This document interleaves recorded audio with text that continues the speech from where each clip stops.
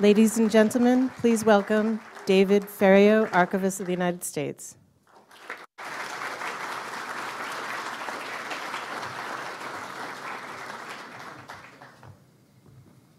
Good evening and welcome back to the National Archives.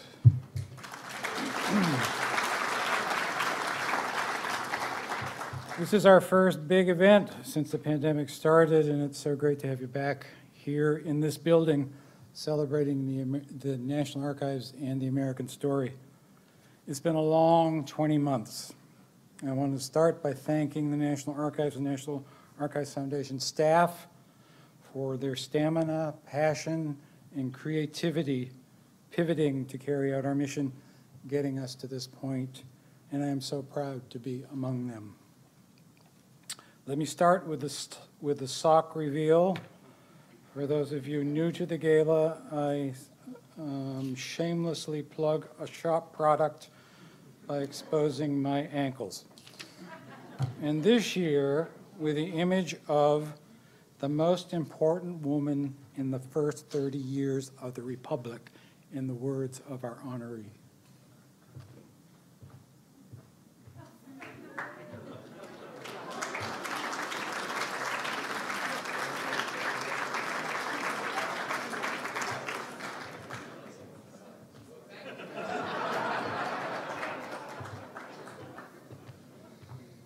So someday we will see the, the James Madison book that's in work, in the works, but the author seems to be fascinated with his wife and has spent a whole lot of time learning about her, I'm told.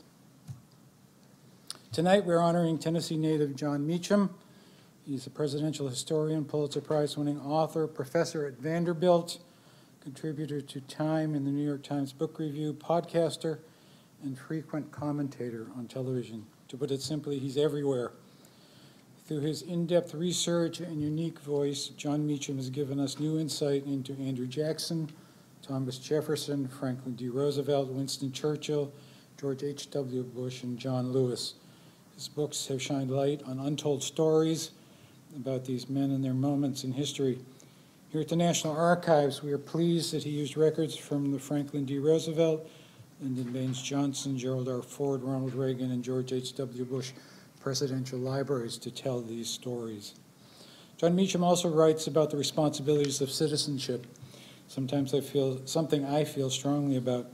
He encourages people to enter the arena, resist tribalism, respect facts, and deploy reason. Find a critical balance, and most importantly, keep history in mind. In The Soul of America, Jon Meacham talks about an incident where President Harry S. Truman broke out a copy of the Bill of Rights and started reading it aloud to an angry woman. Truman later commented, It's not a bad idea to read those 10 amendments every once in a while. Not enough people do, and that's one of the reasons we're in the trouble we're in. I couldn't agree more. I want everyone to visit the National Archives in person or online to see and learn from our founding documents. Because of this, we've made civics education a priority at the National Archives. We work to provide people with the tools they need to understand history and become active participants in our government. We recently launched We Rule Civics for All of Us. This program promotes civic literacy engagement through distance learning programs and draws upon the vast holdings of the National Archives to promote the knowledge and skills students need for civic engagement in the 21st century. I'd like to thank our partner, the National Archives Foundation, whose generous support helps the National Archives reach an ever larger and more diverse audience across the country. With the support of the National Archives Foundation and generous benefactors like you, we're able to make this shared vision of civic engagement a reality.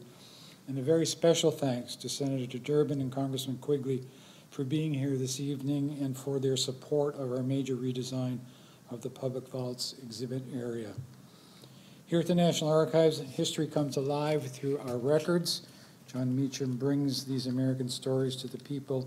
For this, we're forever thankful. And tonight, we'll honor his career and express our gratitude for encouraging citizenship and spreading history through his many books, podcasts, and lectures. Thank you for joining us as we celebrate our public-private partnership with the foundation and pay tribute to Jon Meacham. Now it's my pleasure to introduce the Vice President of the National Archives Foundation Board of Directors, Lucinda Robb. Lucinda?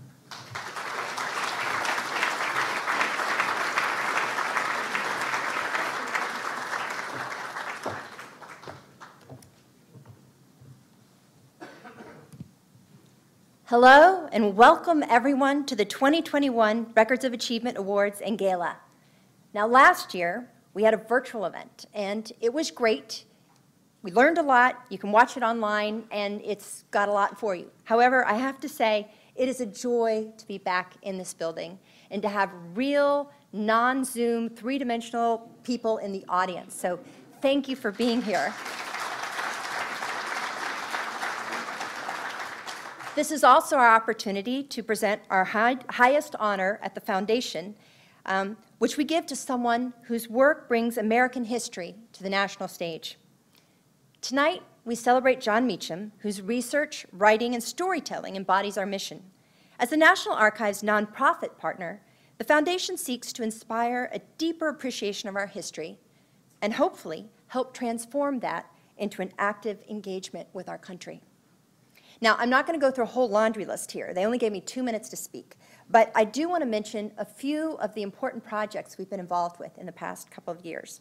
First, the Archives has supported national civic programming, which David just told you about, to reach a younger generation eager to participate in our democracy. And if any of you have teenagers at home, you know they are gung-ho. Second, the foundation is funding the first ever Cokie Roberts Research Fellows. Their work will continue Cokie's legacy in shining a light on women who have so greatly contributed to our nation's history, but whose stories remain largely unknown. And last, but definitely not least, preparations are underway to celebrate the 250th anniversary of our nation right here at the home of the Declaration of Independence as the Foundation takes on the critical role of preparing the museum and the public to celebrate this momentous occasion.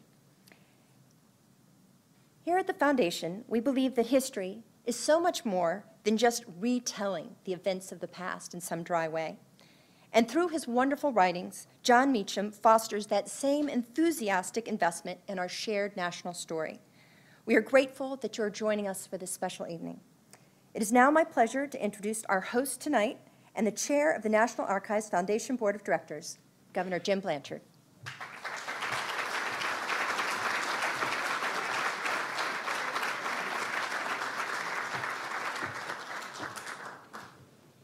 Thank you, Lucinda Robb. Thank you very much. As uh, our distinguished archivist, David Ferriero mentioned, uh, Lucinda is the vice president of our foundation and does a fabulous job. But it's more than that. You're actually an accomplished author in your own right. Along with Rebecca Roberts, you wrote the recent The Suffragettes Playbook, your guide to the changing world, to changing the world, excuse me. Um, I think it's been a bestseller. You had a program here at the archives.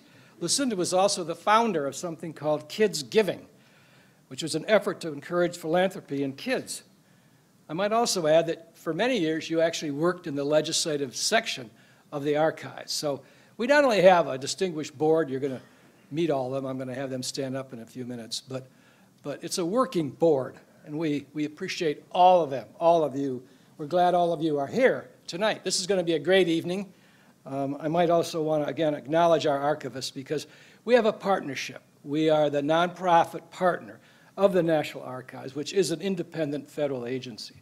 And we do everything we can to help support programming and resources and give advice when we can uh, so that the archives is protected uh, and uh, supported by the public and by our Congress as well. Also with Jon Meacham. I could talk a lot about Jon. I've read several of his books. Others are going to talk about Jon in great detail, and the person I'm going to introduce in a moment will introduce him, and then Michael Beschloss will be interviewing him. And Michael Beschloss is a special member of our board of directors. Michael, we really thank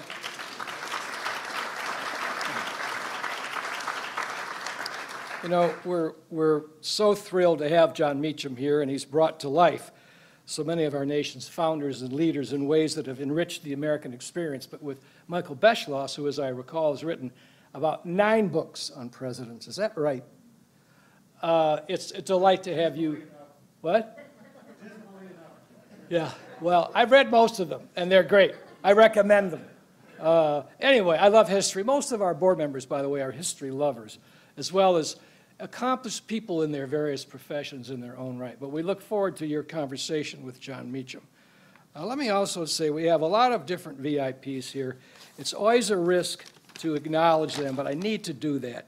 You saw earlier one of our great friends, Speaker Nancy Pelosi.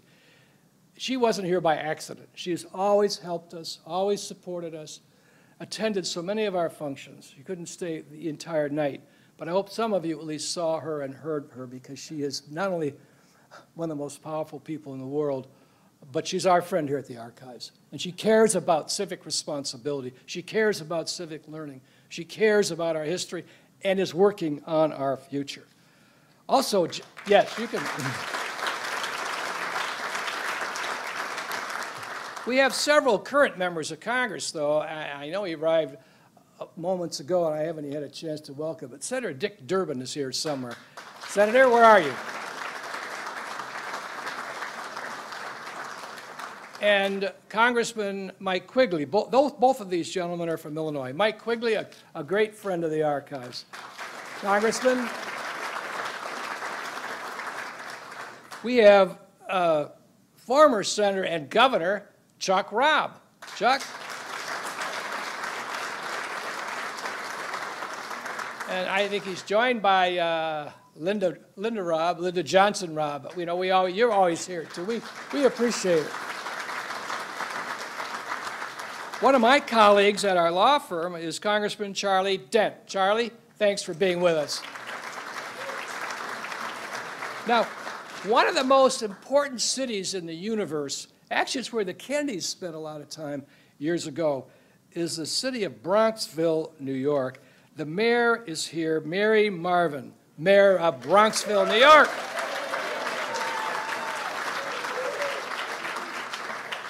Next to Ferndale, Michigan, you are the center of the universe.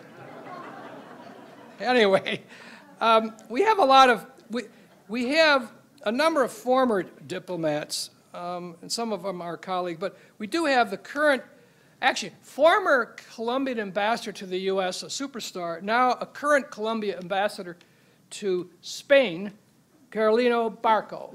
Carolina, where are you? Ambassador? He's here. Um, but we do have former ambassadors Faye Hartog Levin, uh, David Jacobson, Lori Fulton, Glenn Davies. These are all people who serve the United States as ambassadors, and several of them are on our board. We also have the Chancellor of Vanderbilt University, Daniel Diermeier. Chancellor, we're happy you're here. Thank you. Now, um, and our sponsors. Uh, we have a lot of sponsors. They're listed in your program book. Um, we have presenting sponsors who are uh, who've played a major role, and that would include David Rubenstein, who you're going to meet in a moment. By the way, there's a gallery named after him here. Thank you very much. Uh, there's Jackie Mars. Again, Jackie, thank you. And John and Christy Johnson of Edgeworth Economics. You are presenting sponsors. We appreciate what you do. Now, we have a wonderful board. It's a working board. I'd like the members of our board of directors of the foundation to stand up, please.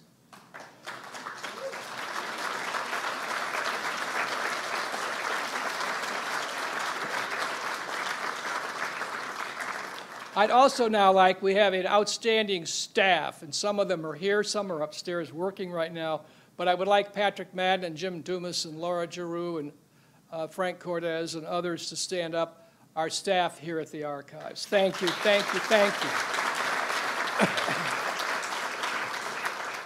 now, I said we have a working board. Lucinda Robb is one example, of course. So are the others. We love history. We love the American experience. We worry about the future. We want our citizens to learn about our history and think about the future and be optimistic about our country and the world. It is a working board. By the way, we have, in our board, we have 12 authors among us and 11 former high-level public servants. And we have numerous philanthropists. And we have many projects, as Lucinda mentioned, I won't go through them all. But talk about many projects. The man I'm about to introduce has many, many projects. It was in the fall of 1979, a young congressman named Jim Blanchard was working hard in Congress to enact the Chrysler Loan Guarantee. And in that capacity, I worked directly with the White House on almost a daily basis. And occasionally, the person who would return my calls and talk to me and be helpful was David Rubenstein. I thought at the time, I wonder if he knows anything about business. I just wonder, you know? Well, here we are, 42 years and $260 billion later, we know the answer. I know, David doesn't like me to talk about money, I'm sure. But David Rubenstein is not only the co-founder and co-chairman of the successful Carlyle Group, with its 29 offices all over the world, but he is the most generous, patriotic philanthropist in the entire country. He defines the words patriotic philanthropy.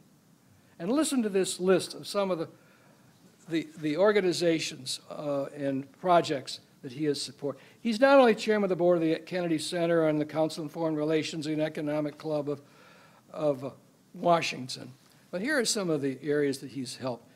He's made a transformative gifts for the restoration and repair of the Washington Monument, Monticello, Montpelier, Mount Vernon, Arlington House, the Iwo Jima Memorial, the Kennedy Center, the Smithsonian, the National Archives, the Library of Congress, the National Museum of African American History. He has purchased and loaned to our government long-term loans rare copies of the Magna Carta, the Declaration of Independence, the U.S. Constitution, the Bill of Rights, and so much more. And then in his spare time, he has a talk show now that many of you watch on PBS, which is really, really good. I love it. In fact, I record it when I'm not going to be around. I don't do that with much except maybe Michigan State football. So, um, and basketball. He's now an author, too. He had a little time for that. He has, his most recent book is Wisdom from the World's Greatest CEOs. This is a, a person who's done so much for our country, so much for this city, so much for our heritage. And as I, as I welcome him to the podium, our dear friend, I want to say we have a lot in common, though. We were both born in August. I give you David Rubenstein.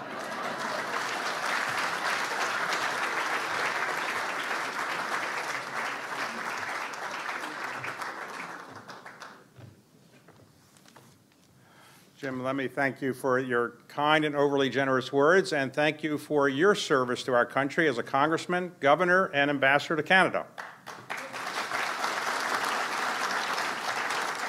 and as chairman of this Archives Foundation. Thank you very much for everything you've done. Um, as I was preparing to uh, come here this evening, I received a letter that uh, was sent to Jon and was asked that I would read it uh, uh to him tonight. The letter is from uh, Andrew Jackson. Dear Jon, I write to you as a proud fellow citizen of Tennessee, our nation's greatest state, the state where there are country's most famous and revered homes, the Hermitage and Graceland.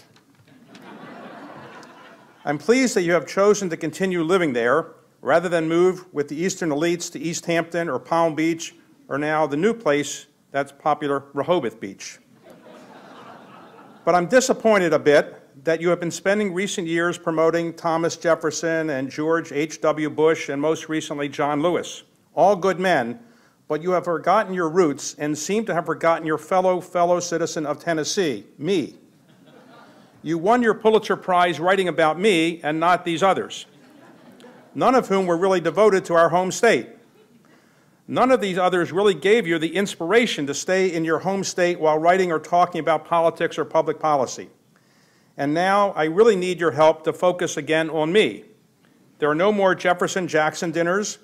Fewer people are coming to the Hermitage to pay homage to me just because I was a slave owner and forced the Native Americans to move west. Can you help improve my image a bit by writing about some of the good things I did? You had a few of them in your book. To be sure, I'm proud of what you've done for America and American history and for the state of Tennessee, but I can assure you there is a special place in heaven reserved for those who remember their old friends and those who helped them become famous. And you deserve to be in that special place. You might get there anyway because of your other good works for America, but I can use my influence to ensure that you get there. And I'm happy to do so. But I need a little help in reminding people of the good things I did for America. Uh, you had them in your book. But for tonight, congratulations on your award, well deserved, and you should know I put in a good word for you to get this award. Not that I'm seeking credit, but just wanted you to know. Best regards from your old friend, sincerely, Andrew Jackson. So, um, I, I, I can't really uh, add to the eloquence of Andrew Jackson, but let me just say a couple of things, if I could, about uh, my friend Jon Meacham. All of us want to do something in our lives that is meaningful. And for all of us, it's generally difficult to do more than one thing well. And so all of us aspire to be somebody who has done something well, to be an actress like, um, well, I, I, would say, uh, who is the best actress out there? Kate, Katharine Hepburn, someone like that. Everybody wants to be a singer like Frank Sinatra, a dancer like Fred Astaire. Whoever you want to aspire to be, they usually have one skill, one thing they perfected. And that's a very good contribution to our society. Jon is different. Jon has perfected many skills. And just briefly, think about this. He is an incredible writer. He's written best-selling books, books that have influenced the course of way history is actually talked about in our country. And he's also an incredible author of, uh, of books of, that have talked about American history. He's not only a writer that's really good, but he's a writer of history, and he knows history. He, secondly, is a terrific talker. It's one thing to be a good writer. It's another thing to actually explain things in English that people can understand. So as you've no doubt seen from Jon's discussions on television uh, and his commenting on various things about history, he is the go-to person that so many people want to hear about, hear from when it comes to history or now American politics. He's an expert on American politics as well, and it's very rare to see somebody that's a good writer be a good expert in history, but also an expert in American politics. He's also somebody that actually knows how to give back and give to his, his, own time. He's actually done a lot in the philanthropic area, in the nonprofit area, much of which he doesn't talk about, but those of us who know him know that he's always available to help out with a good cause and to help with a very good project.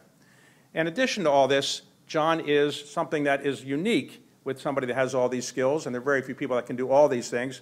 He's actually a nice person. Now, very often people that are really talented at doing great things, they're not so nice. Some of you may have met some of these people, I don't know. Um,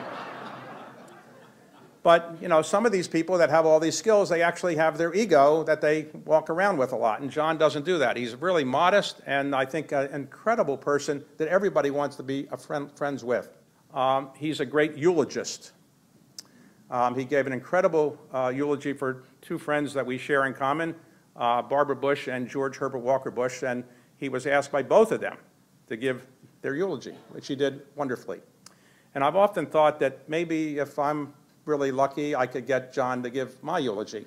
So I'm trying to be very nice to Jon and hope that maybe he'll write one of his great eulogies for me.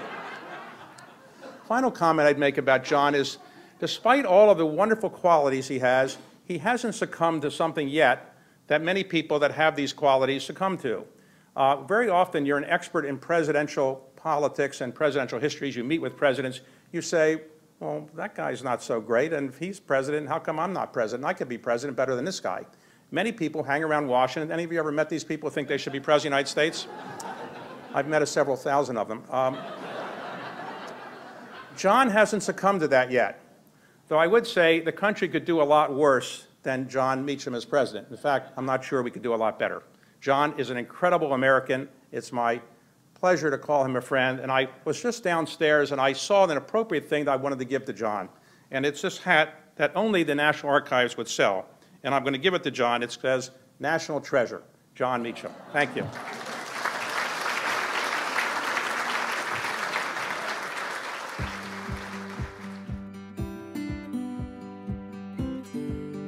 How do you define the soul of America? In Hebrew and in Greek, soul means breath or life. So I think it's the essence of who we are. I think it's what makes us who we are. And I also see it as not entirely good or entirely bad. I think it's an arena of contention between those worst instincts and our impulses for grace and for love. And the book is called Soul of America. Right. My first question do we still have one? We do. Jon Meacham is the leader of a new generation of historians who tells the American experience in writing, in commentating, in teaching. I think he's a very soulful person. He understands the United States of America in a very complex way, but it has at its heart a deeply felt appreciation of who we are, and I think more importantly, with the word soulful, what we could become. If I were just meeting Jon Meacham for the first time, the first word that would come to mind would be his sense of humor. But I've known him for over 20 years, so there's no way in which any first word could describe this great, multifaceted character that has now become my friend. He was editing uh, for a major news publication as a very, very young man. He's written now probably a dozen books.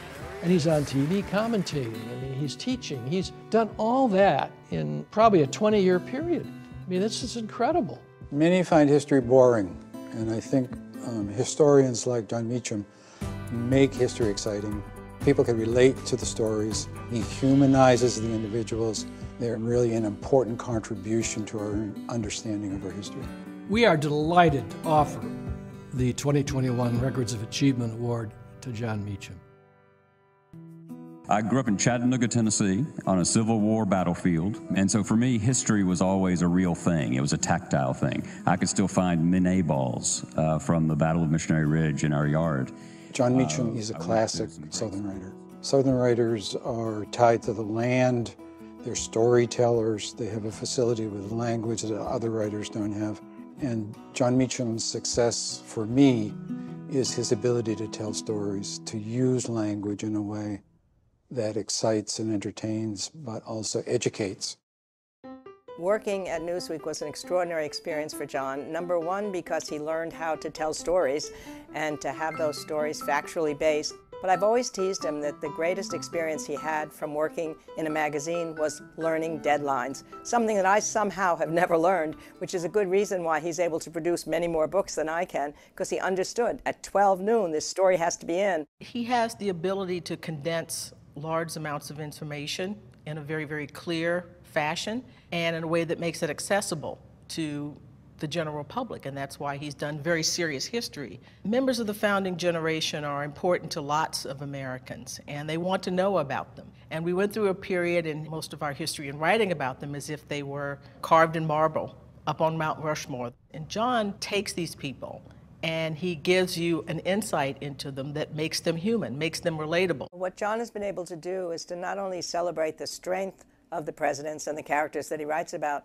but to understand the flaws, the mistakes they made, so that you see them as a whole human being with strengths and weaknesses. And I think that balance that an historian has to somehow figure out, um, he has figured out in spades. Jon and I have written about subjects who have problematic aspects to their lives. Thomas Jefferson as a slave owner, Andrew Jackson as a slave owner, as the engineer of Indian removal. We have to grapple with those things.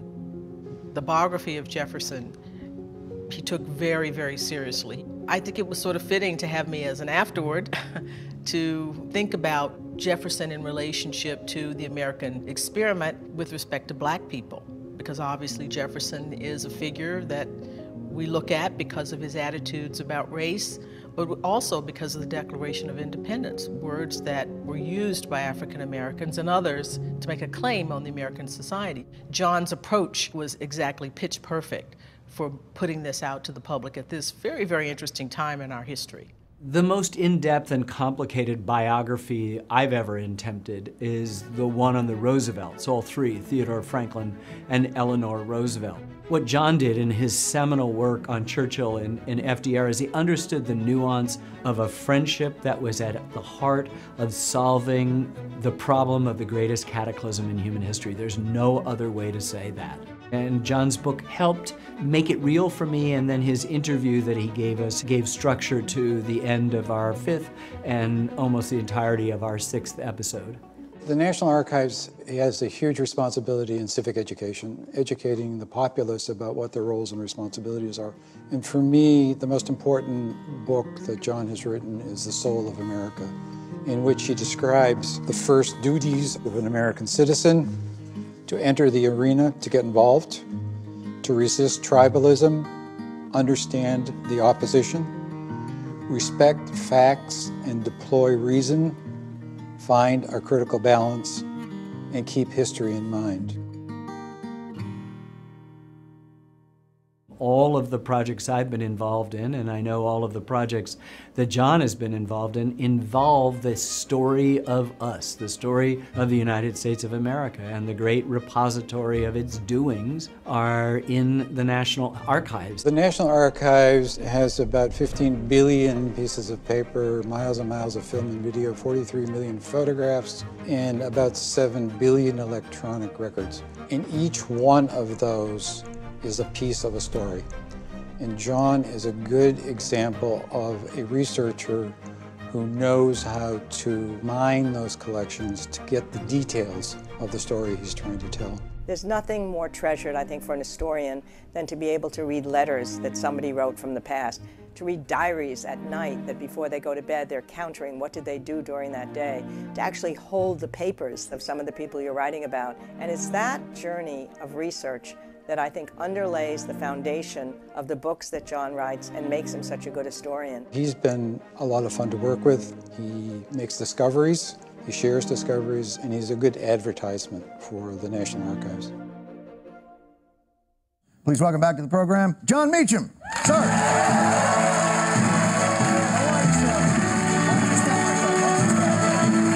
Thanks for being here. Talk a little Andrew Jackson. We'll get into a couple other things. This guy was a maniac. He was a maniac. A maniac. Yes. He was the only president who tried to assault his own assassin. to me, that's a threshold question for a book. Jon is a very funny person because he's wry. He also understands that humor is this has this extraordinary continuum in American history. The thing about the American experiment, though, is the Constitution was designed for just this kind of moment. Right. The checks and balances were there. Right. The document itself, Hamilton was very good on this when he wasn't rapping. Uh, you know. It's refreshing to have witticisms, to have asides, those kinds of things appropriately in historical writing. I think it puts the reader at ease and it connects you to the reader, and this is an important thing. It helps us understand that there is contradiction in everybody. Jackson, again, he would always act at two levels. There was the absolute projection of implacability. Meanwhile, he was trying to cut a deal in the back. Some people might call that hypocrisy. I call that statecraft. Jon has a spectacularly great wink, which is, of course, the beginning or the end of you being had by humor. He has this capacity to mimic some of his characters. So he's not only talking about his people, he's actually talking as if they were talking, and, and then that sly smile comes over his face. Of course it's not them, it's Jon Meacham being George Bush Sr. or somebody else. Bush 43 asked me what I was working on next, and I said, well, I'm doing this thing with Tim McGraw, and he went, McGraw, I like the wife. so the story of my married life right there. I think Jon Meacham inspires people, and I think he inspires a young generation to want to teach and write and think and talk about the American experience. Jon clearly enjoys what he's doing. He enjoys the search, he enjoys the research, he enjoys the writing, he enjoys talking about it, and it's hard not to come away with some sense of, of joy yourself. One of the things that Jon and I have always shared is the idea that there's hope in history, that we've been through turbulent times before, and somehow this country came through that. And it allows you to know if, if, those people living at that time who didn't know how the story would end were able to get through their difficult time, it gives us hope for our, our own present and future. If the men and women of the past, with all their flaws and limitations and ambitions and appetites, could press on through ignorance and superstition, through racism and sexism, through selfishness and greed, all the panoply of human flaws, to form a more perfect union, then perhaps we can too.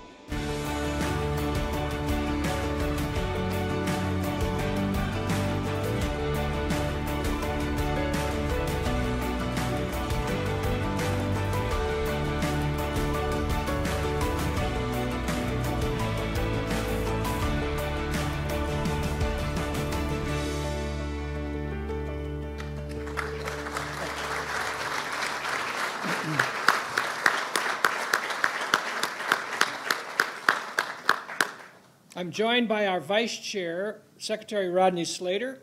Jon Meacham, please come up and receive our Records of Achievement Award.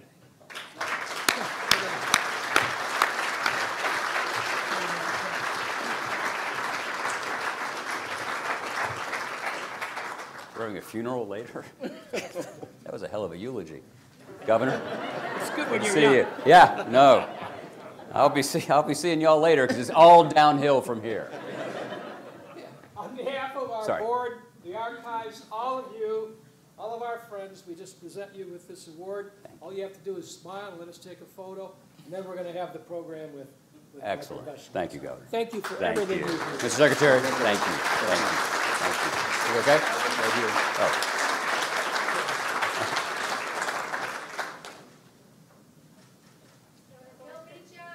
Woo!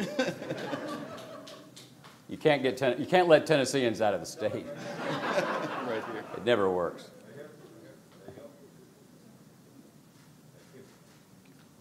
So welcome to my Episcopalian bar mitzvah. And now, our board member and friend and historian, Michael Beschloss. Michael, take it away. Be over here. Be here. You're- Be you're here. All right. Thank- Thanks, everyone, for coming. Oh, Can you my hear me, o- can you hear me and Jon okay? We have wonderful technical skills in this building. Uh, Everyone has been talking about eulogies, and a close friend of Jon's and mine, who will remain nameless, we always say, we have to die before Jon, so he'll be able to do the eulogies at our funerals. So Right, right, right. I Uh, re- recommend it to anyone. Well, that was incredible. I mean, I, I, I really, my wife is not here. I now see why. Because she would have had to have a response Re- re- time. rebuttal. Yeah, we don't want that. But, but thank you all so much. Uh, hugely, hugely grateful. Uh, uh, slightly overwhelmed. Uh, I wasn't expecting that. But Beschloss actually knows everything. Uh, and uh, Michael is one of my oldest and dearest friends, and um, it's always, uh, always an honor to be with you. And I've been joking with Jon that at the beginning of this thing tonight, I could say, given how well I know you and all sorts of things, what is it worth to you for me not to bring up certain Yeah. subjects yeah, in front of a lot. I got some socks and a hat now. That, that's it, right? We, we never let anyone go away from here empty-handed. And when I was talking to Patrick and Jim and David about doing this, I said, you know, this is not exactly going to be a prosecutorial con- conversation conducted by me. You know, Jon's youngest daughter, I'm her godfather. Uh, and I might no longer be if I give too True, intrusive an true, interview. yeah. So We have a review then, period. then I thought maybe we could do this like This Is Your Life, and we could bring embarrassing people on the stage from Jon's past, but didn't think that would, that would be right either. So I think we'll do this biographically and start at the beginning. Sure. Uh, we saw in the film, uh, rumor has it that you come from Chattanooga. True. Uh, how did you originally get your interest in history? Where, where do you think it comes from? There were two tributaries. Uh, one, which was in a clip. Uh, I grew up about 700 yards from Braxton Bragg's headquarters on the, for the Battle of Missionary Ridge. Uh, and about three miles the other way was Chief John Ross's house of the Cherokee Nation. So the, these twin tragedies of American history, uh, the slavery and Indian removal, were, This, were this what- is not your birth. This is, this is the two other. yeah, no, no, I'm, I'm, that's the one of triplet, that's the triplet, the Rubenstein triplet. Um, uh, We're right there. And the other thing was my grandfather, who was a judge, uh, and would take me at a very early age, which explains partly why I'm so weird. Uh, There's a lot to blame on any one thing, but uh, down to the courthouse and to this downtown hotel where you sat with the mayor and you sat with unindicted. Uh, I I should say unconvicted. Uh, We're, we're, we're trying to keep this truthful. Yes, exactly, exactly. Uh, and so to me, history biography was always ambient. It was always human, because you'd see the mayor on TV or something, but you actually sort of knew what he was like. And so I think it was those two things. And I just love to read, um, and read the Churchill War memoirs very early. Uh, uh, there was this young guy, y'all may have heard of him. Uh, he wrote a book about Kennedy and Roosevelt a young Beschloss. Uh, if you haven't seen the jacket photo, it's actually not possible they're the same person. I, I, I look exactly the same at the age of 24. it's, it's as if Holden Caulfield had written that book. Uh, it's this great image. Um, so it was these three things, and then I went to uh, I went to Sewanee, uh, the University of the South, um, which is best understood as a combination of Downton Abbey and Deliverance. Um, so Ca- Care to tell us in what respects? no, I don't. I don't. I don't. But I, I appreciate your follow up, though. Uh, and uh, so that was a big literary place. I majored mostly in Jack Daniels, but, uh, but had a great roommate from Lynchburg named Jack Daniels. Uh, but I went to work in the local newspaper, uh, the Chattanooga Times, after my first year in college, uh, just for the summer. And it was a great, it was the Chattanooga Times, which was Adolph Ochs's first newspaper. Uh, it was the one he bought before he, but that slightly more successful second investment of the New York Times. Uh, and so, and that was it. Uh, It just sort of, that you could write, be around important things. It was just great fun. And I, I think from our talks over the years, I would not underestimate the importance of your grandfather. Absolutely. Yeah, tell a little bit more about him. Oh, that's a, that's a sweet story. Uh, he's a Vanderbilt alumnus, uh, was the founder's medal. Be- best thing that ever happened to him, he said, except marrying your grandmother, of course, he would add when she was there, uh, was uh, he was he was the founder's medalist at Vanderbilt Law School, and uh, which was the number one. He was a classmate of uh, Pauline Gore's, uh, who was the, only the second woman to go to Vanderbilt Law School, I think. And uh, so he, he went. He, he joined the Navy. He was born in 1913. And his name? Ellis Meacham. Ellis Meacham. And one of the sweeter things about about his story, I think, is he was married. Uh, my his first child was on the way, but then Hitler invades the Soviet Union. And he realized in June of 41 that this was inevitably coming. And so he wanted to be at the front of the line. And he joined the Naval Reserve and was actually in New Orleans when Pearl Harbor happened and then spent four years in the Pacific. Um, he was, we all, all of us who have uh, naval grandfathers and fathers, everybody thinks their figure is Pug Henry. This guy was pretty much Pug Henry uh, from, from, from the Winds of War. But he was a frustrated, he, he, he didn't particularly like practicing law, as I don't actually know anyone who does. Uh, so, got to keep it together. If, if there's anyone who does, they're in this room. Exactly, exactly. Uh, you know, so he was. So C.S. Forester, right? Horatio Hornblower, um, those novels, sort of the early Patrick O'Brian, I guess, is when I think about it. Uh, he loved those books, and C.S. Forester died, leaving an unfinished novel. And I think it was the Saturday Evening Post, wasn't it, that used to uh, serialize Hornblower. And so they serial, serialized the unfinished novel of C.S. Forester. And my grandfather's 53, 54 years old, and reads it, decides how he thinks Forester would have finished the story, sits down at the dining room table, types out, writes, writes I guess it was about 30,000 words, types it up and sends it. No one's asked him to do this. you know, it was not, yeah. Sends it to Little Brown, says, by the way, I think this is how it would finish if you'd like to have this. And in a le- the kind of letter, the kind of, uh, in those days, emails that we send all the time, s- they wrote back saying, no, Mrs. Forester doesn't want to finish, doesn't want to do this, but if you ever have a story of your own, we'd be happy to look at it. The you know, that's the WASP brush off, right? I mean, that, that, that, that's, what, that's what we do. And, um, but he took it seriously. And he said, I always thought I had a sort of an invitation. And so he sits down and wrote the first of three novels uh, based on the East India Company, uh, the Bombay Marine, and loved it, loved that far more. He also wrote an, an unfinished uh, or an unpublished novel about a terrible lynching in Chattanooga that we just, um, uh, the city just commemorated in 1906. Uh, it was the only direct criminal trial the Supreme Court ever held, was the murder of a innocent uh, black man in, in Chattanooga uh, who was shot 52 times uh, on a bridge that's now named for him. Um, and he had, the sheriff had been the bad guy in this, and so he wrote this. He wrote about that. So it, it was a. This was all in the atmosphere, right? This, the, this was the wallpaper. Sure. Uh, jumping around a little bit, as you may have heard here in the archives, we do primary sources, among other things. What's the most interesting primary source or collection that you've ever looked at?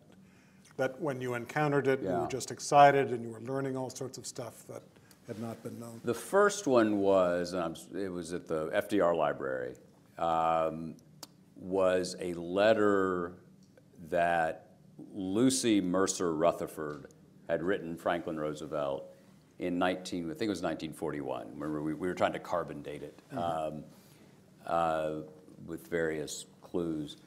And there was a physical thrill because here was the voice of this woman who was part of this part of the tableau, but not, but had been pretty much frozen right uh, all the way through.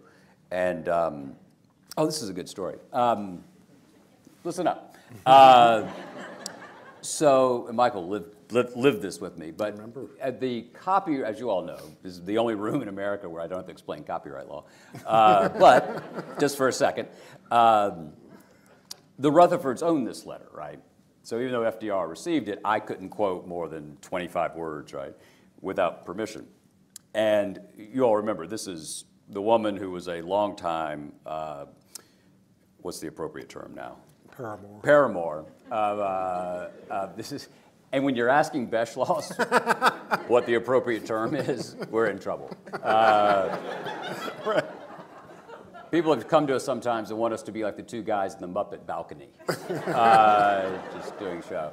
That reminds me of John Tyler. Right. Um, but I wanted to get. Uh, And, yes, and only you. exactly. Yeah.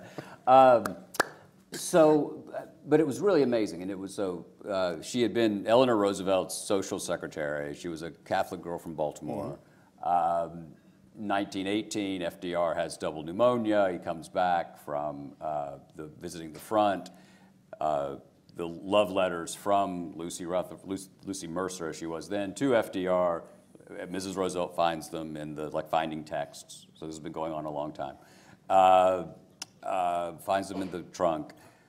Great crisis in the marriage. Uh, and then allegedly, the way the story is usually told is uh, the price of Eleanor staying and thereby saving his political career was that he would never see her again. But of course, as you all know, in April, there were some occasions during the war, and then on April 12th, 1945, Lucy Mercer Rutherfurd, as she was then, uh, was very much uh, at Warm Springs when FDR dies. But that's kind of what, and there were some reports of some daily, some day trips and things here, but it was pretty quiet. Uh, this was the first time, and this was 2002, the first letter that, that I knew of uh, that is actually Lucy talking, Mrs. Rutherfurd talking. And it was this incredibly eloquent, very reassuring. Uh, one of the great lines was, this is before we were fully in the war, so it's early 41. Everything that is dear to us is now in your cherished and capable hands. If you're Franklin Roosevelt and you're in a wheelchair and you have to deal with Congress and you have to deal with the isolationists and you're dealing with Charles Lindbergh and you're preparing for a global struggle, you've been trying to rescue democracy for eight years, that's what you want to hear. right? And so it was just, but it, it went on, like a great bo- boarding school handwriting. So, but because of the copyright law, right, I couldn't, I, I could only do that. So I find uh, the daughter, the last daughter, um, Barbara was her name, I think, Barbara Rutherfurd, living in Aiken, South Carolina. And I called her up and I said, I have found a letter of your mother's. And in a voice that would chill anyone, she says, Where? I said, This is not going to go hugely well. Uh, but I said, Well, in the FDR library, ma'am, ma'am. And because she's in South Carolina, I'm dropping every G. I'm, you know, you know I got to get my grits, and then I can read you the letter. You know, I was doing everything I could. Everything. You know, uh, so finally, I realized, and this is this is where sort of being in journalism and doing this have fed each other. Mm-hmm. I just said, "May I come see you, ma'am?" Because I wanted to see her first of all, and I just said, "I'd like to come and show you this and explain it." And she said yes. And so I remember being in Tennessee and then driving to Aiken, and um, in this house that was a little like arsenic and old lace meets horse country, right? So, big house. And I start to read it. I said, let me just read this to you, man. And I'm reading it, and I hear her crying. Hmm. And she said, Of course you can use that letter. I have just heard my mother's voice again. Oh, sweet. That's, that's why you all, your support for this is so important, is it makes that, things like that possible. It shed light on the human dimension of the most important war president, uh, as Ken was saying, the greatest cataclysm. World War I, with the possible exception of the passion and crucifixion of Jesus, is the largest event in human history. A war that starts with- with a, what we were 14th in the world, and it ends when we get the capacity to d- end all human life. Pretty big, right? And so th- that was a document in the system that shed genuine light. That's one. The other is uh, just having the audio diary of George H.W. Bush. Uh, he didn't write a diary, he talked. And it's like, as Dana Carvey said, it's like Mr. Rogers trying to be John Wayne. you know? George Mitchell's pissing me off. Uh, you know, um, I told Barr not to say, anyway. Uh, so, and being able, he often um, would, as you know, he would record early in the morning or late at night. Sometimes on Marine One, sometimes on Air Force One. So there, sometimes there are engines going. You could often hear a little clink of ice. I'm sure it was Dr. Pepper uh, at night. Um, but what was what is so fascinating is, is as close to go to David's point, blessedly for America, is as close as I'll ever get to being president of the United States. Is listening to someone talk on a daily basis about what it's like. And I worried. Uh, Michael, Michael was the godfather of many things, including this project. Uh, Michael was the person who introduced me to George Bush, um, which is like introducing, you know, who introduced you to your second wife? You know, it's that kind of, you know, it's, it's, it's, it's that kind of. Only if it goes well. Exactly, exactly. Um, but I worried as I was going through it that he was overly obsessed with the press. And I was thinking, how is he watching so much news? Because he knows what Lesley Stahl said. He knows what Brit Hume says. And he's like, I don't like it. Um, and so he was just, and I was thinking, my God, you know, it's amazing the Berlin Wall came down. He's so busy watching. This, this is a great archival kind of story. So, but I thought it was so disproportionate. And I went to Tim McBride, you know, Tim, uh, former body man uh, for uh, George H.W. Bush. And I said, walk me through the morning. And Tim said, uh, Tim's greatest memory was, you know, I grew up in Detroit, and we didn't call them shirtings in Detroit. you know, President Bush would say, you know, the son of Greenwich, where's my shirting? Yeah, I was like, we didn't call it that. Uh, but he said, so what the president would do would be to take the briefcase and he'd pick up the tape recorder for the diary, he'd have the daily schedule, and he'd pick up the White House news summary, which was an invention of Pat Buchanan. Yes. Because Pat Buchanan thought Nixon was too even keeled. Anybody want to walk me through that one? Buchanan, when he was communications director, started putting together a compilation of what all the folks were saying on television to get Nixon mad. Really worked out well. Uh, and And- so, And the great thing is Nixon's comments, you know, he'll read something that makes him angry, and Nixon will write in the margin, "Go kill him." Firebomb house. Gordon, Gordon Liddy took that seriously. Yeah, no. But it, it's one of these things that has kept going. And so what he was doing was he would have the briefcase and he'd be going to Camp David or he'd go down to the study. And so as he was dictating, he would be reading the news summary. And so he would just be musing about it was he wasn't watching TV, thank God. But it took me about two years to figure out, to figure that out. But that too is one of the great. And that was an unusual because you've done both as, as well. It's interesting writing about someone who you can talk to people who knew them as opposed to the, the, the truly dead. Sure. Uh, and- That's a and- category. And, and, and s- s- speaking about the truly dead, A- Andrew Jackson. uh, Great letter, by the way. Thank you, David. Yes. uh, Talking about people who have original primary sources, David, a letter from Andrew Jackson that we hadn't seen before.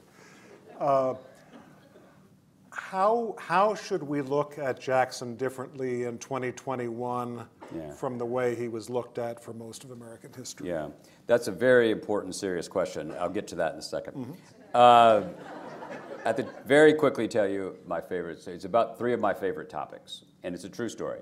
It's George Herbert Walker Bush, uh, Andrew Jackson, and Donald Trump. Okay? I know it sounds like a joke, and there's one parachute, but this is a true story. So in March of 2017, uh, it's announced that President Trump is coming down to the Hermitage in Nashville to This, this one actually has the added advantage of being true. it's true. It's true. So he's coming down and he's going to embrace Jackson. And so I'm sitting at home and I think I should do something about this. So I write an open letter to the president saying, Dear Mr. President, delighted you're embracing history, but if you're going to do it, if you're going to embrace Jackson, don't just embrace the crazy parts, right? And there are plenty of crazy parts, right? He, he, says only two regrets were that he had not hung Henry Clay and shot his own vice president, John C. Calhoun. Nobody felt that way about their vice president until Jan- January. Uh, anyway, uh, so and that's, you know Jackson was a unionist. Uh, he kept us together, gave us an additional 30 years to have what Lincoln would call the mystic chords of memory. Wrote this piece, sent it to the local newspaper, the Tennessean in Nashville, John Siegenthaler's old paper. And they, in a very brave editorial decision, they ran it entire, the whole front page that day was this open letter from me to Donald Trump. It had no effect whatever, of course. But the next day, I was walking into lunch, and my phone rang, and it was President Bush, Sr. And he'd spent a lot of that winter down at Methodist at Houston in the hospital. And so his staff was giving him stuff to read, and they'd given him this thing. So he called up and said, how you doing? I said, I'm fine, Mr. President. He said. I'm fine. He said, I read your letter to Jackson. I thought, oh, shit, the old boy's lost it, right? He thinks I'm writing letters to dead people. It's a true story. I said, Mr. President, thank you. I'm glad you're doing better. You know, actually, sir, that was a letter to, to Trump about Jackson. And without missing a beat, the old man said, yeah, but Jackson will pay more attention.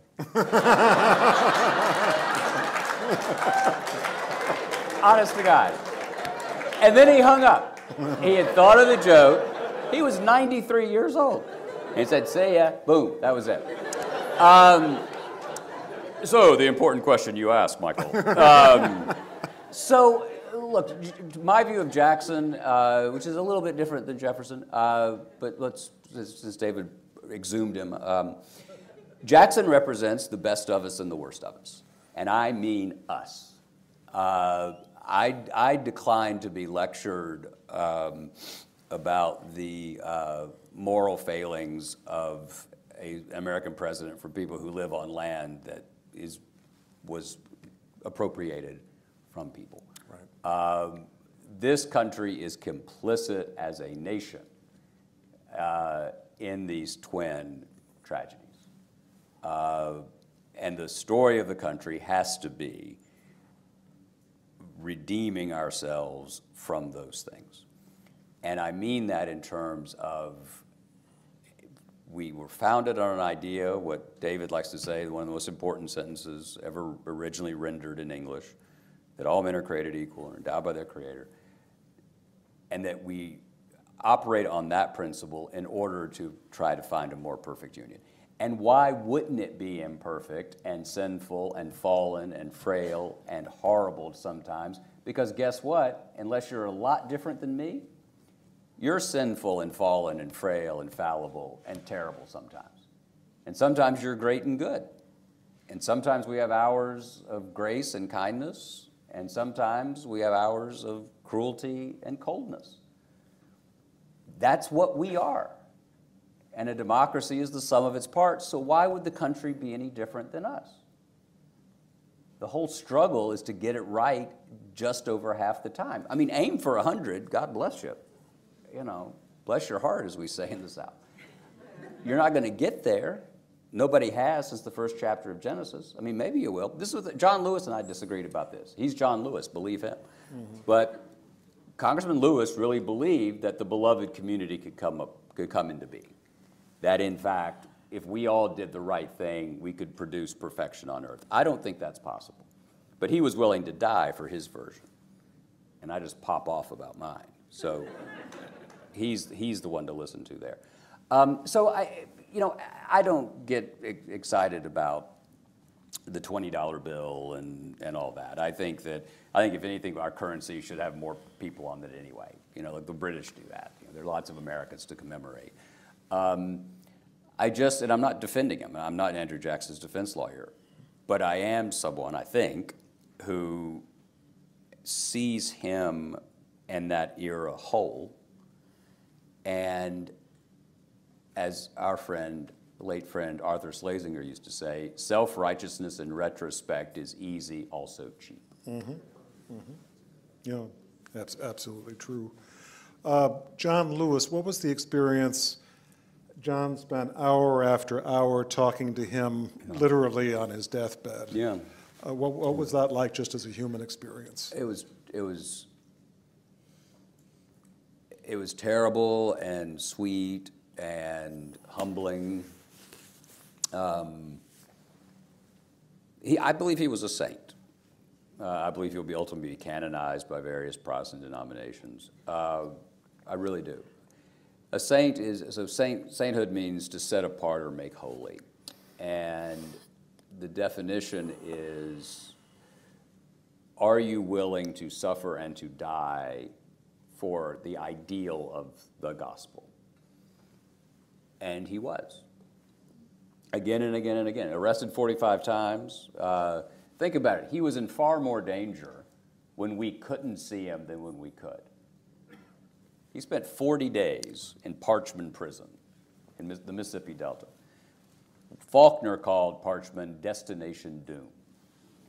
Uh, and that saintliness was he never raised a fist back. What he learned in Nashville, uh, he comes in, John's life was very biblical. His name wasn't John Lewis at first. So, like Abraham, who was Abram, and Elijah, and Peter, and Miriam, Mary, uh, his name was changed when he received a different kind of work. And he grew up in Troy, Alabama, Carter's Quarters. His great grandfather was born into enslavement. Um, he comes to Nashville to American Baptist Theological Seminary. This burst of creativity there James Bevel, Bernard Lafayette, uh, C.T. Vivian, and John Lewis were in a school where there were 100 students. So three of those people have won the Presidential Medal of Freedom. That's a pretty good alumni letter for somebody, right? Uh, but he was taught by Jim Lawson, who was at Vanderbilt Divinity School and had been a conscientious objector. I think Lawson is probably the most important American that not enough people know about. Uh, he really was the teacher of the young people who then went to downtown Nashville and went on the Freedom Rides and did everything. all without raising a, um, a fist. Here's one thing about the brevity and the fascinating work that you all do. So we were here, what, two weeks ago at, and we were at a service at the National Cathedral. And I'm standing there with my family toward the end of it.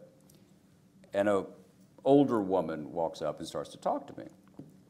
And she said, I've wanted to meet you. I said, well, you're the only one, you know. Uh, she said, because I was in Nashville. I was at Fisk in 1961. And she said, and they set my hair on fire. And I said, ma'am? And she said,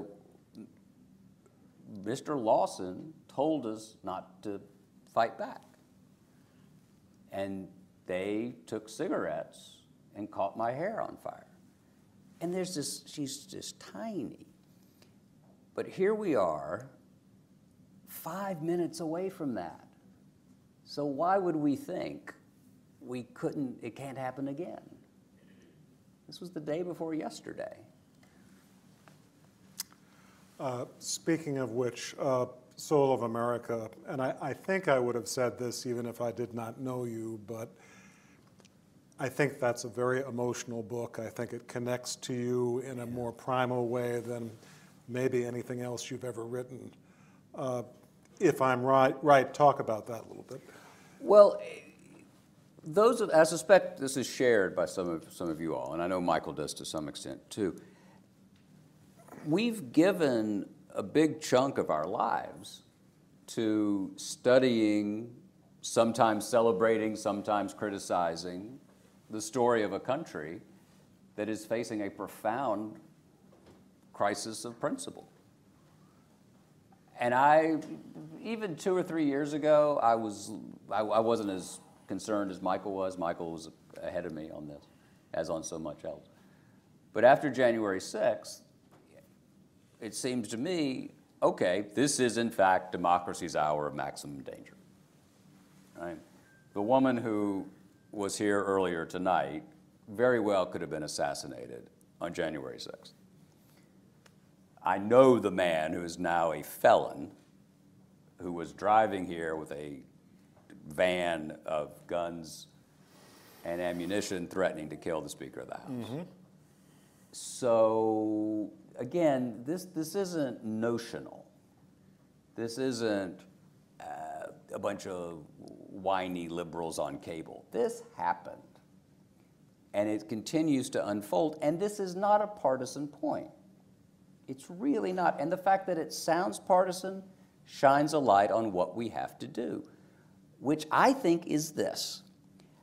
As long as you're a constitutional adherent, as long as you believe that the Declaration of Independence was our mission statement, the Constitution is our user's guide, Every generation that has been commemorated in a positive way has been one in which the definition and understanding of the mainstream has been widened, not constricted, where there's been possibility, not a loss of opportunity. Every generation. That's what you want to do. We know what to do. It's very hard, right?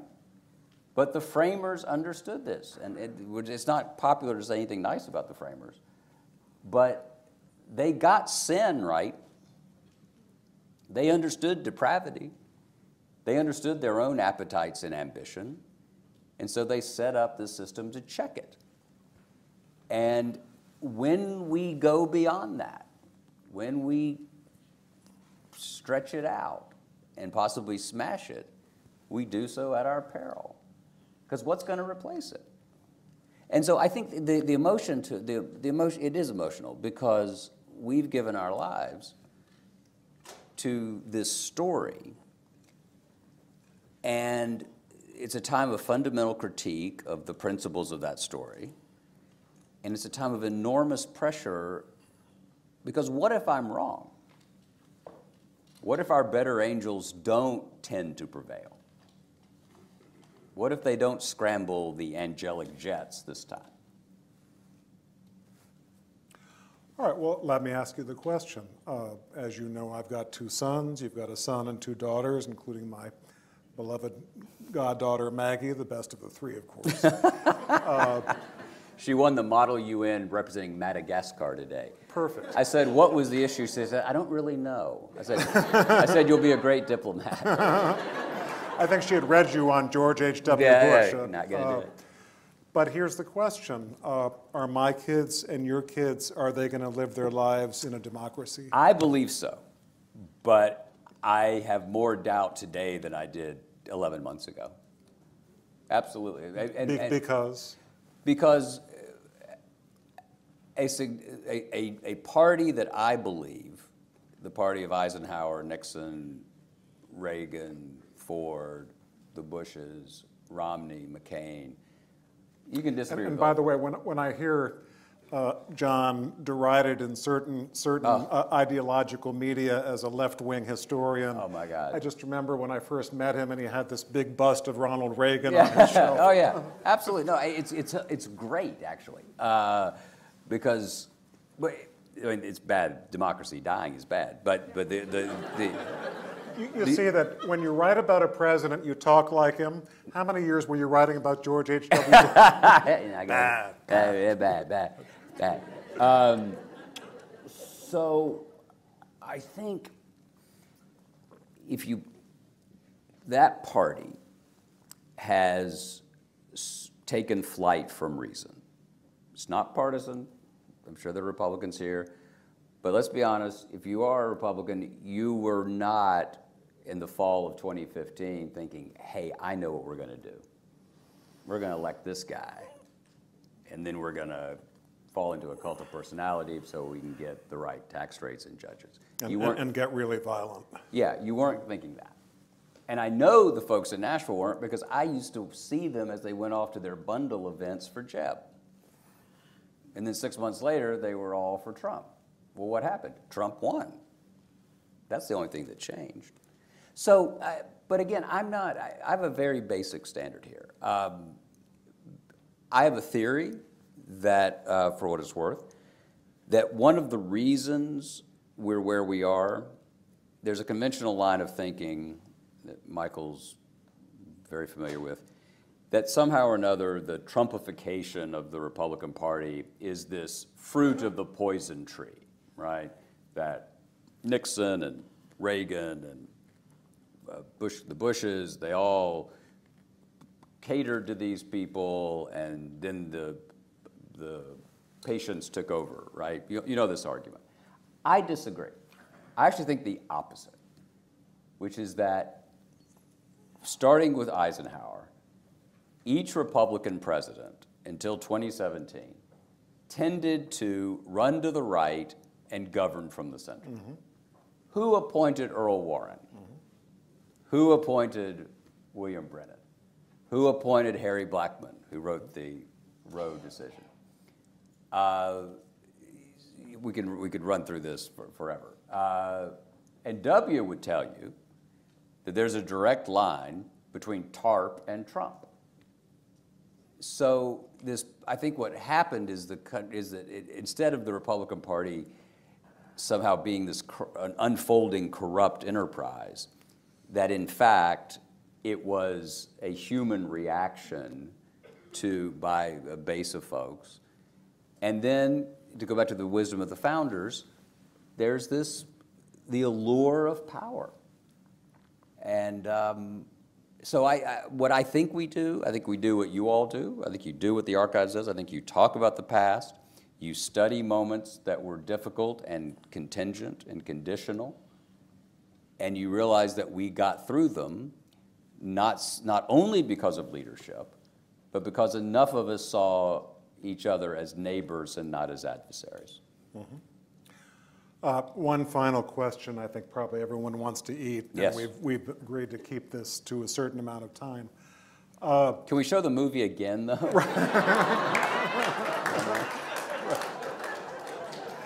He wants to make sure that his wife Keith sees it because she won't believe it. I right? just, wa- I, this, this is gonna be, a, I'm gonna have a video Christmas card with the link. So if you all get it, just click. Truer words never spoken. Uh, As you know, the Archives in our foundation does a lot with civics education and education about democracy. Do you think that one reason why a lot of people in this country seem not to be very eager to defend democracy is that the education has not been good enough and they don't know what it is and they're indifferent to it? I, I do, and I, I think, and the great news is this is about storytelling. Robert Penn Warren has that great poem, you know, in the century and moment of madness, tell me a story, tell me a story. Make it a story of great distances and starlight. Make it a story of deep delight. That's what history should be. And I think people don't know what we've overcome to achieve what we have. So I know uh, I would say this anyway. I have what I call the Lyndon Johnson test, which is in the incredibly important eight days between Bloody Sunday and President John. We just saw the speech downstairs, and the, the great speech of March 15th, 1965. President Johnson summons George Wallace to Alabama, I mean, to Washington from Alabama. And he sits him on the couch. And Wallace was a little guy, and President Johnson was the opposite. Uh, and Wallace sort of sinks down in the couch, and President Johnson looms over him and says, with some colorful terms, uh, my favorite being when uh, George, he's, President Johnson says, George, why can't you get these school boards to do? And he says, well, I can't control school boards. To which the president says, don't shit me, George, George Wallace. and, and I, then, wish, I've always wished that one was on tape, which oh was Oh my not. God. It's, it's, it's one of the great scenes because here, and I do believe that this is, a, this is part of what will happen if we, if we come through this. Then he says, what do you want your tombstone to say? Do you want a scrawny little pine tombstone that says, George Wallace, he hated? Or do you want a noble stone tombstone that says, George Wallace, he built? Lyndon Johnson, in that moment, boils down to its essence a practical vision of how do we incentivize the continuation of this counterintuitive experiment in democracy. We can't just say it's the right thing to do and be on TV like we are and say, oh, if only they would do X or Y. That's not the way the world works. It'd be great if it did, but it doesn't. You have to appeal to people's incentives. Speaker Pelosi has a great line. She talks about people's equities. What are their equities? And then you tell me what their equities are, and I can, I can do this. So what, what I think is we have to ask people, how do you want to be remembered? It's the portrait test. And the great thing is, when you talk to politicians about the portrait test, they can't imagine a world where they're not looking at their portrait. Uh, so that, I'm, I'm, sure, Governor, that's different for you. Yeah, yeah. yeah. I understand. I know, I know. Blanchard has little mask cards of his. Uh, but um, so I think, I think that's the key, is that you tell a story. Do you want to be John Lewis or do you want to be Bull Connor? Do you want to be Lyndon Johnson or do you want to be Andrew Johnson? Pretty straightforward. I know who I want to be, but we have to, what the work we have to do is we have to create an infrastructure where that question makes sense. And then people can answer it. Right now, it's, it's pitched too high. I admit that. But that's why we should do, we have to do this. And you can do it without indoctrinating and all that. I mean, that, don't, don't, th these battles are important, I know, but we can get overly distracted by, I call it the tyranny of the chyron. You know, the chyron is the caption across a cable TV screen. And the Constitution's more important than that. Well, before we go in and eat, all I would say is you can see why we are giving Jon the Records of Achievement oh, I'm so Award. Grateful. Thank you. Thank you. Thank you, sir. Thank you. Nice work. Thank you. Perfect.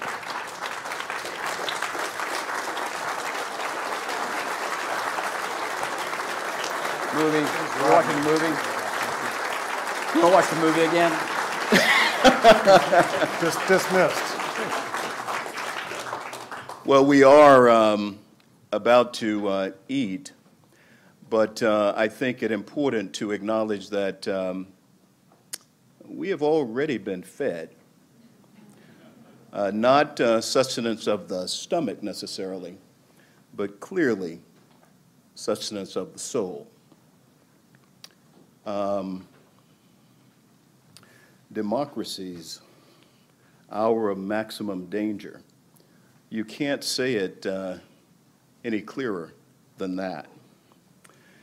And the response actually may be etched on the walls of this great building, on the Constitution side in particular.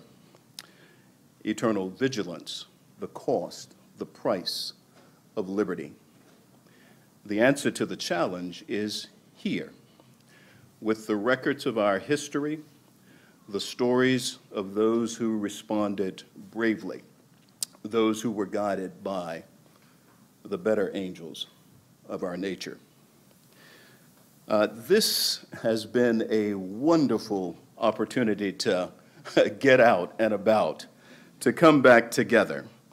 And we want to thank um, Michael Beschloss and uh, Jon Meacham for that most insightful and inspiring uh, conversation. Again, something that fed our soul. I hope that, uh, as with the case uh, with all of you and with me, that uh, you have um, experienced uh, a deep appreciation and understanding for the work of historians. to not only tell us about our past, but to give us um, um, steel and spine in our present, and to give us hope for the future. Uh, this includes our, the, concludes our theater program. We'd like to thank everyone who was a part of making tonight possible. And we'd like uh, uh, to, our, to our archivists, say thank you for your wonderful leadership, Mr. Chairman and the board, all of the members of the staff, a great evening. Now, we invite all of you to join us in the Rotunda Gallery for the remainder of uh, the feeding of the evening. Thank you for being here.